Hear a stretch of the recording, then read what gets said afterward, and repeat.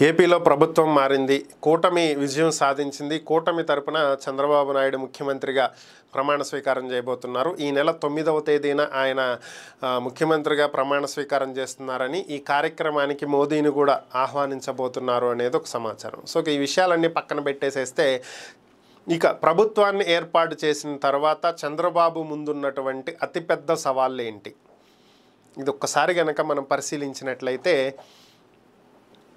గత ప్రభుత్వం ఇచ్చిన దానికంటే ఎక్కువ సంక్షేమం ఇస్తాము. ఎట్ ద సేమ్ టైం అభివృద్ధి అంటే ఏంటో చూపిస్తాం అని చెప్పి ప్రజలను నమ్మించి అధికారంలోకి వచ్చినటువంటిది కూటమి. అయితే ఇక్కడ ఉన్నటువంటి అతిపెద్ద సవాళ్ళు ఏంటి అనేది కనుక ఒకసారి పరిశీలించినట్లయితే గతంలో రెండు వేల నుంచి మూడు వేలు పెన్షన్ చేయడానికి ఐదేళ్ళు పట్టింది. సంవత్సరానికి రెండు వందల యాభై చొప్పునే పెంచుకుంటూ వెళ్ళారు. ఒకేసారి ఏం పెంచలా. కానీ ఇక్కడ చంద్రబాబు నాయుడు గారు ఏం చెప్పారు? మేము గెలిచిన వెంటనే నాలుగు వేలు పెన్షన్ చేస్తాం మూడు వేల నుంచి. అయితే ఏప్రిల్ నెల నుంచే ఈ పెన్షన్ పెంపు అమల్లోకి వస్తుంది. అంటే ప్రభుత్వం జులైలో ఏర్పడితే మీకు ఏప్రిల్ మే జూన్ ఈ మూడు నెలల్లో మూడు వేల రూపాయలు నెలకు వెయ్యి రూపాయలు చొప్పున మూడు వేలు జూలై నెలలో పడాల్సినటువంటి నాలుగు వేలు. మొత్తం కలిపి ఏడు వేల రూపాయలు ఒకేసారి ఇస్తామన్నారు. అంటే ఇది ఏడు వేల రూపాయలు చొప్పున మొట్టమొదటిగా ఇక్కడ ఉన్నటువంటి వృద్ధుల అందరి ఖాతాల్లోకి పడాలి. పెన్షన్. ఇది ఫస్ట్ సవాల్. ఇక రెండోది ప్రతి ఇంట్లో ఎంతమంది పిల్లలు ఉంటే అంతమందికి అమ్మఒడి అందిస్తాం పదిహేను వేలు చొప్పున. అంటే ఇంటికి ఇద్దరు పిల్లలు ఉంటే ఇద్దరికి కలిపి ముప్పై వేలు ఇవ్వాలి. ముగ్గురుంటే నలభై ఐదు వేలు ఇవ్వాలి. గతంలో ఇంటికి ఒకళ్ళకే ఇచ్చేవాళ్ళు పదిహేను వేలు. కానీ ఇప్పుడు ఆ పరిస్థితి లేదు. భారీ స్థాయిలో ఉంది. సో ఇది రెండో సవాల్. ఇక మూడోది మొదటి సంతకం మెగా డిఎస్సి అన్నారు.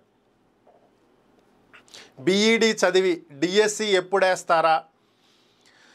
మనం టీచర్లుగా ఎప్పుడు ప్రభుత్వ ఉద్యోగం చేస్తామా అని ఎదురు చూస్తున్నటువంటి వాళ్ళకు ఇది ఒక పెద్ద అవకాశం మెగా డిఎస్సి అనేది. మరి దీని ప్రకారం భారీ స్థాయిలో ఉద్యోగాలు రిక్రూట్ చేయాలి.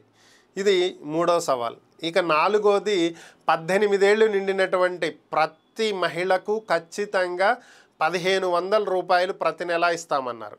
ఇది కొంత వెసులుబాటు కలిగే అంశమే. ఎందుకని అంటే నలభై ఐదేళ్ళు పైబడిన వాళ్ళకు ఒకేసారి పద్దెనిమిది వేల ఏడు వందల యాభై ఇస్తున్నారు. దాన్నే స్ప్లిట్ చేసి నెల నెల ఇస్తామన్నారు. సంవత్సరానికి ఒకసారి కాకుండా దాన్ని నెల నెల అలా కట్ చేసి కట్ చేసి ఇస్తున్నారు కాబట్టి కొంత వెసులుబాటు ఉంటుంది. అలాగే రైతులకు రైతు భరోసా ఇరవై వేలు ఇస్తామన్నారు. ఇది ఒక సవాల్.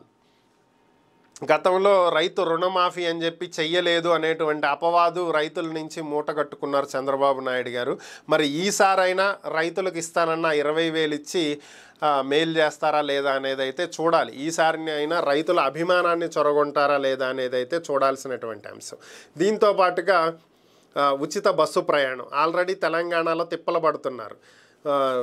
ఉచిత బస్సు అనేటప్పటికీ ఇతర ప్రయాణాలు కూడా మానుకుని ఇతర ప్రయాణ సాధనాలు. ట్రైన్ జర్నీస్ కావచ్చు మెట్రో జర్నీస్ కావచ్చు ఇవన్నీ మానేసి సిటీ బస్సుల్లోనే ఎక్కటం. సీట్లు సరిపోక ఫ్రీ సీట్లు ఫ్రీగా టికెట్ తీసుకుంటూ జీరో టికెట్స్ తీసుకుంటూ వాళ్ళేమో కూర్చోవటం టికెట్ కొన్న వాళ్ళేమో నుంచుని ఉండటం దీంతో గొడవలు కొట్లాటలు ఇవన్నీ తెలంగాణలో చూసాం.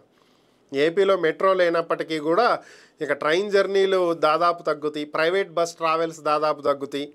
ఇంకంతా గవర్నమెంట్ బస్ ట్రావెల్స్ అయినటువంటి నేపథ్యంలో మరి భారీ స్థాయిలో ఏపీలో పరిస్థితి ఏ రకంగా ఉంటుంది అనేది అయితే చూడాలి. ఇక ఏడాదికి మూడు సిలిండర్లు ఉచితంగా ఇస్తామన్నారు. ముఖ్యంగా మహిళలు ఎదురు చూసేది ఇదే.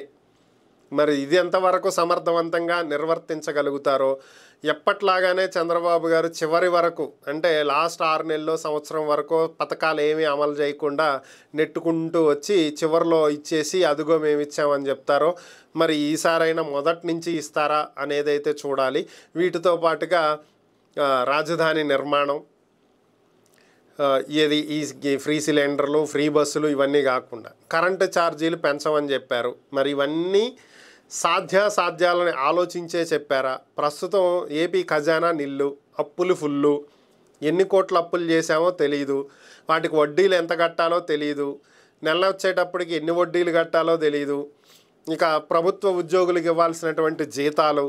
గత ఐదేళ్ళలో ఎప్పుడు ఒకటో తేదీ జీతాలు పడలేదు. సో దానికే ప్రభుత్వ ఉద్యోగులు కడుపు మండిపోయి ఉంది. కానీ ఇప్పుడు ప్రభుత్వం మారే కన్నా ఒకటో తేదీ జీతాలు పడతాయని ఆశిస్తున్నారు.